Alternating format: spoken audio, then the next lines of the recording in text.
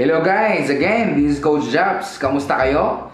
So ngayon naman, nasagutin natin ang uh, question ng isa sa mga viewer, subscriber natin. Walang iba kundi si Riz Engok. Ayan, so ano yung question ni Riz? Paano sumagot ng objections galing sa prospect? Ayan, so uh, I'm sure this is one of the most important thing na malaman natin, ano, especially when we do a presentation uh, kailangan nating malaman kung paano natin sasagutin yung mga prospect natin or uh, kung paano natin sasagutin yung mga objections ng mga prospect natin. Again, remember, objections are buying signal. Hindi porket nag-object ay hindi sila interesado. In fact, uh, the mere na mag-object sila, uh, ang tawag doon buying signal. Ibig sabihin, nag-project uh, sila na interesado sila kasi meron silang gustong malaman interesado sila in such a way na meron lang konting doubt at kailangan nating masagot yung doubt or yung question nila.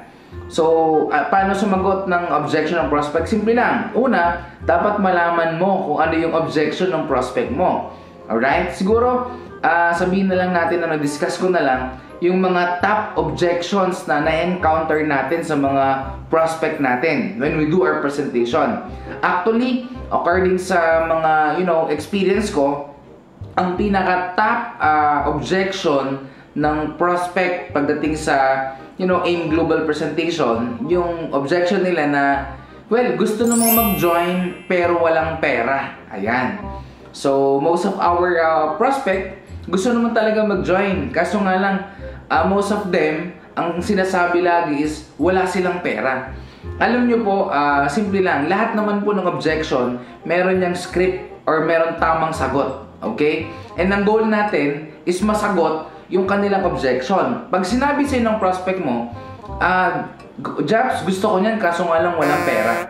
So, ang pinakamaganda mo sabihin, syempre dapat sagutin mo siya in a good manner. In a courteous manner, kailangan magalang tayo. Kailangan i-respect natin kung ano yung objections nila at kailangan natin na sagutin sila ng magalang na pamamaraan. Paano natin sagutin? Pag sinabing wala akong pera, gusto mag-join, simple lang, sabihin mo sa kanya, Ma'am, sir, uh, naiintindihan ko po kayo. I understand your side.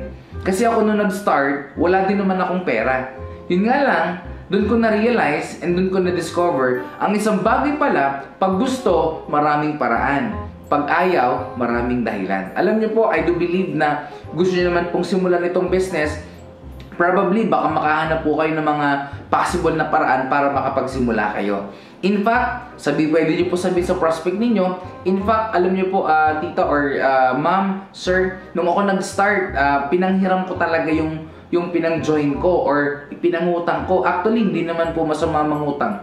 Provided sa negosyo mo, gagamitin. Ang masama, nangutang ka, ibinili mo ng, you know, ng mga bagay na hindi naman magpapasok ng pera sa, pera, pera sa or yung tinatawag na liability. Alright? So, isa yan sa mga, uh, you know, pamamaraan kung paano mo masagot yung uh, prospect mo. Alright? So, ano yung uh, top 2 na objection na na-encounter natin? Gusto ko mag-join, kaso nga lang, busy ako, wala akong time. Paano mo sasagutin yon? So alam niyo po, based on my experience, every time may makausap ako na prospect at sinabi sa akin, gusto ko mag-join pero busy ako or wala akong time, ang sinasagot ko sa kanila is ganito, Ma'am, sir, alam niyo po, naintindihan ko po kayo. Kasi nung ako nagsimula, ang nakita ko sa sarili ko na busy rin ako sa ginagawa ko. In fact, meron nga akong trabaho. So, ang question ko sa sarili ko, paano ko naman may sisingit? Alam niyo po, isa lang po ang, uh, ang, ang kailangan nilang marinig pagdating sa, you know, busy or walang time alam niyo po sa totoo lang,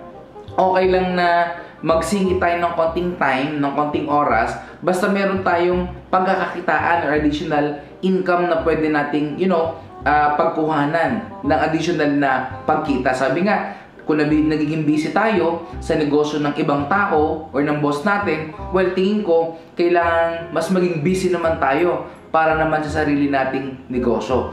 Kaya isang bagay, pag gusto, maraming paraan, kung gusto talaga, bigyan po natin ng time. In fact, wala mo naman po talagang salitang busy.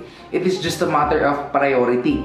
Kung napaprioritize mo nga ang negosyo ng ibang tao, hindi ba dapat mas bigyan mong priority ang negosyo or sariling negosyo mo naman? Di ba? So, number three na top 3 na question na na-encounter ko na objections is yung tinatawag na gusto ko mag-join kaso nga lang hindi ko naman linya yan.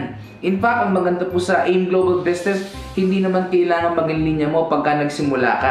Kahit wala kang knowledge sa ganitong business, complete po tayo sa trainings, alright? Sa mga, you know, mga seminars na kailangan mong malaman at matutunan para maging successful ka sa negosyong ito. Ibig sabihin, kahit hindi mo na siya linya, kahit wala kang alam sa business na to, once na magsimula ka at mag-join ka, attend ka lang ng mga seminar, manood ka lang ng mga trainings, pwede kang matuto, pwede mong matutunan, and along the way, pwede mo na siyang maging linya. May kasabihan nga tayo dyan eh, di ba? Kapag uh, sabi nga, kung dyan sa linya mo, uh, hindi ka umasensor, hindi ka yumaman, well, subukan mo naman itong hindi mo linya. Baka dito ka yayaman. Alright? So again, Reese, sana nasagot ko yung questions mo. So sa mga, again, sa mga viewers natin, and sa, uh, sa mga further viewers natin, sa mga members ng AIM Global, and you know, nag, uh, yung AIM Global business, guys, uh, just uh, for more videos, don't forget to uh, subscribe on our uh, YouTube channel,